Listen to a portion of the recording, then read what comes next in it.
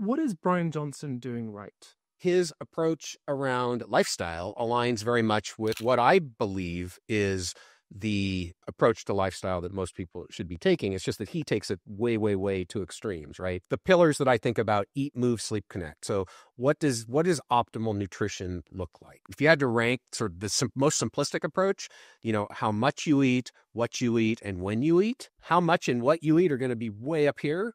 And a little bit further down is going to be when you eat this idea of time restricted eating or, or fasting, right? My understanding is he's like, don't eat too much. Now, maybe does he veer too far to caloric restriction? Maybe. And then what you eat, you know, generally whole foods, generally plant based, and exercise, as far as I understand, he exercises regularly. Sleep quality is a priority. He might be dropping the ball a little bit on the human relationships piece. Again, this is my understanding, but you know, in general, eat, move, sleep, I think his ideas are right. I think he's popularizing the idea of being healthy to a lot of people, especially a younger generation. That's fantastic. I do wonder, though, if the extreme nature of that is actually having a detrimental effect in that the, the people who are really leaning in become almost like a cult approach. It's a much smaller audience in terms of the people who are actually adopting the positive aspects of what he's talking about.